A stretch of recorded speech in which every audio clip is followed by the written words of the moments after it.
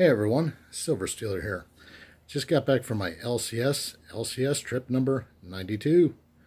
And I was checking out all the silver rounds. He's been selling them for $16.50 of late, so I got to hop on those whenever I can. And almost pass this one up because and it's airtight, it just looks horrible.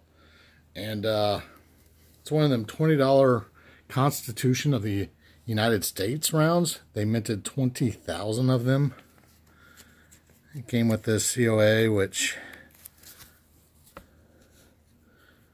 20,000 pieces made, 2001 from the country Liberia. And like I said, I almost passed this one up because the it just looked horrible and it's airtight. You'll see what I mean here. Sometimes they can be a little bit misleading.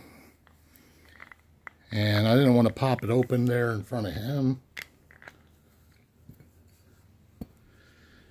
Anyway, here you go.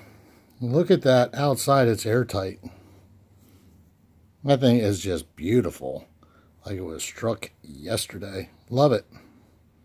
Very nice looking round.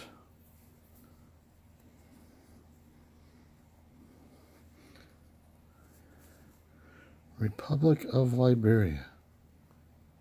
It's beautiful. Anyway, those are always fun to pick up, especially when they look like that. It's going to bring this video to a close. Remember to like, subscribe, and all those other good things. I'll see you on the next video.